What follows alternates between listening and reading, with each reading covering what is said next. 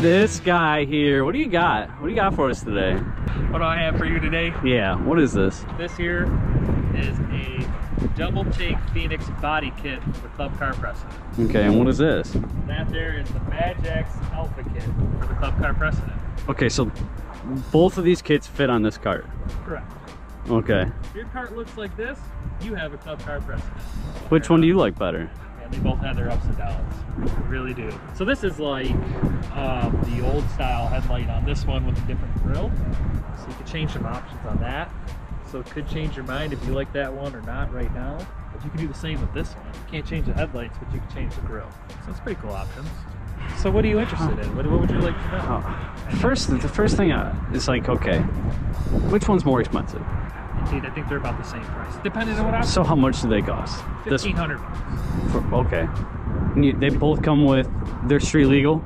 This kit is street legal. Is the Alpha kit street legal? You have the option of ordering street legal and not street legal. So you can get it a little bit cheaper if you don't do the street legal kit. But it's still around the $1,500 price point.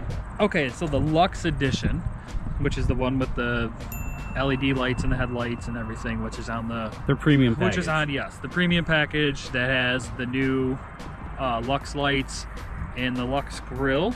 So the Lux Edition Alpha Body Kit plus Lux Light Kit plus the Lux Grill Black for the Precedent, Onward, and Tempo is $1599.95. Okay. So they're within 50 bucks of one another. Okay. So the kits are with fifty dollars of, of each other. Why would I buy one of the over the other though? Is it it's just the looks? looks.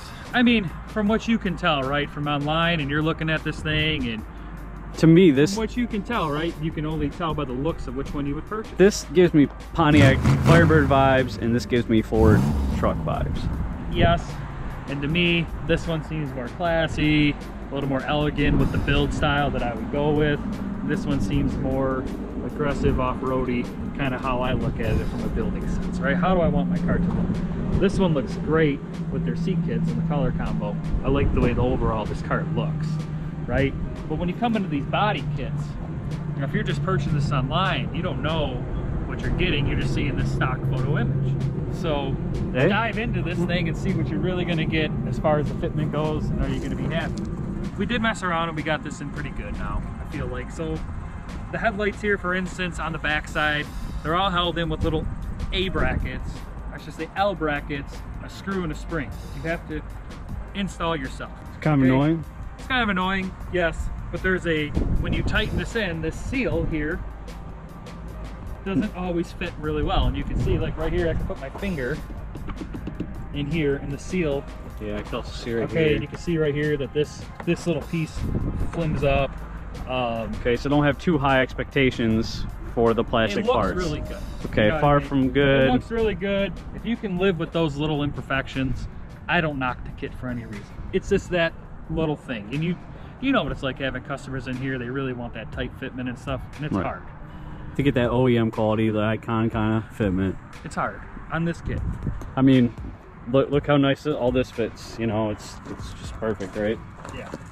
So I would that's that's the next thing I would bring up is here. This is probably one of the biggest complaints I have on this kit is every single one of these bodies on the back for whatever reason does not fit into these channels and it just gives a fitment like this. Pull it out. I mean, they, I'm not gonna try to put it in there. You know what I'm saying? I, Right. We've tried and tried and tried to get this thing in here. The only thing I'm thinking is that the mold that they make this on has it messed up right in this spot up here. They don't got that shrink right.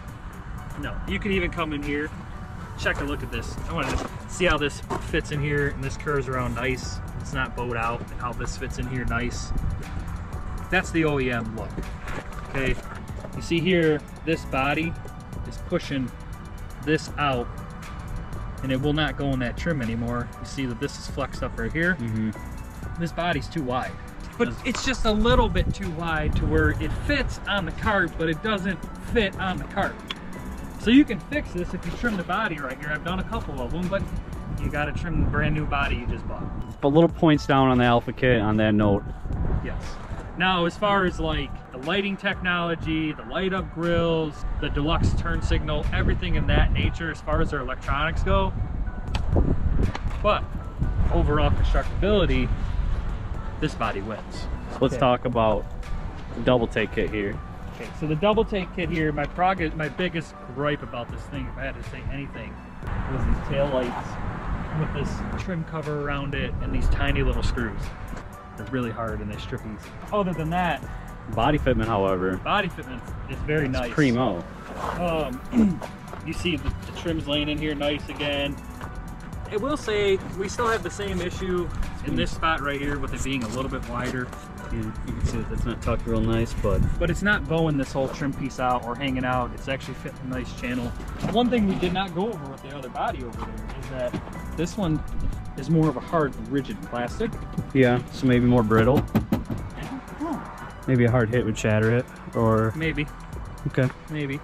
But this is when you when you pick this body up, this is like a more of a solid body, where the Alpha body kit's kind of flimsy. It's got that different plastic feel where it's more Yep. flexy. Okay. okay. But overall, I mean, the, the kit looks good. How about the front end? Okay, glad you brought the front ends up. So maybe we turn because some, we talked about we talked about the headlight over there and the fitment of the headlight. So we're Okay. going to jump back to the fitment of the headlight here before we go on the other things. So you see how this thing just fits in very nicely. and Yeah. nothing's sticking out. Everything's nice and smooth. What's nice about this is that the headlights actually have a threaded nut, like a thread on them, and these fasten using a 10 millimeter nut. Okay. So a little bit bigger hardware. I think sturdier overall, Okay. nicer, easier to install. You just set the light in there. You don't have to fight with anything. You put a washer and a nut on, you tighten it down. It sets right into place nice and easy. You don't have that rubber seal around it where you kind of have to fight with it, Mm-hmm. um, like we've seen on here. A little bit, a little bit less headache, frustration. A little If you- bit less headache, If you have that. OCD where you need it perfect, maybe this is the kit for you. Mm, yes and no. When we get a little bit deeper into the wiring of the kit, this one's a little older school. It's not real hard, but there's like a relay you got to set in, and there's one little extra step to do this in the electrical sense of it, but it's not bad. Overall, it's not a bad install. I would say yes, the putting the headlights in is way easier than the Alpha. Uh, putting the grill in's easier than the Alpha. The other thing that's probably the most different between the two kits is that this one doesn't use like a brace underneath this body. This body's kind of like Just rigid within it's itself. rigid. You know what I mean? It's like so there's no brace underneath here that holds this body up. Here to this one, see how the body's just a little it's flimsy. Can you see that? Mm-hmm. right? And then it's got this bracket underneath here that holds all this together. And so if you hit something in here, it's really flimsy. So we have essentially the price points are the same. Correct. They come with some cool options for the grills and little hood options. For the install, you're saying that which one's easier? I would say for ease of install, uh, this one's gonna be easier. Okay, but not by much. Just not like by much, just by the headlight thing. okay, I mean, that's not horribly hard. It's just, it's harder than this. This one, it just involves a couple more steps. Screws into plastic, hold the headlight in there. so pretty comparable kits. Can't really go wrong either way. No, can't really go wrong either way. Which do you Um, sell more of? Do you think Alpha. the Alpha? Oh, up here in the the old Mitten State, right next to Ford, we think those look like Fords. I do think that this looks this is really growing on me. This double take kit's really growing I on like me. the double take body kit, I do. Are you subscribed yet? you Subscribe, You dude. actually just scared me, dude. Subscribe. Like, don't get scared me. I would just go over like this, little, the little finer details. Like, it's Little a little, dankier. it's a little dank. Yeah. Nice hazard. I mean, I like that. Okay. Now I do like how their blinkers light up here. I think that's really nice. Looks good. Yeah, it does. Shut those off. This thing also has running lights, which Okay. just lights this part up right here. And then we can switch to our lights, and this lights up, and then our lights come on. So you got a two-way switch in here. And again, like, it's like this, you know, we have to look at that. There's not a clean cover over it. Oh, I see what you're saying. We don't have the, we don't turn our headlights on and off here. This is just blinkers, horn hazards. Headlights are on a switch on the dash. Okay. So we're comparing kits. Are those deal breakers? No. Um, does the MadJax do a little bit better job cleaning that up? Yes. Okay, let's go look at that. Okay, I can already see the the turn signal stock is a lot cleaner. You got the cover here. Yeah. Obviously, it looks more like a car. Correct. All right. Now this is the standard style. The deluxe will have more options on it. But this is where you would turn your headlights on and off, your horn, blinkers. Now the hazard switch is a different switch on your dash. okay. Okay. So Let me take a look at the uh, the lights from the front. Yep.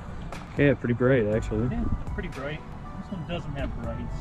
This model we're looking at here has got to be a little bit cheaper now, I would imagine. So What else you want to know about these things? That's I'd say. That's it. I mean, you got really. Um, it's just your opinions of vary. I mean, ease of installation obviously uh, matters, but it's not that big of a deal in this case.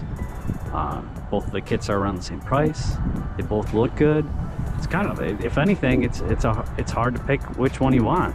It is hard to pick which one you want. And I don't know if there's one that's better than the other. I just wanted to show somebody who can make their own opinion on the video we show. You know, maybe you don't like the flimsiness of it. Maybe you don't like the certain things that we talked about. Maybe the turn signal thing really bothers you. It kind of bothers me. I don't like that. This doesn't look clean. I don't feel like it's a clean cart. This is a very pretty cart.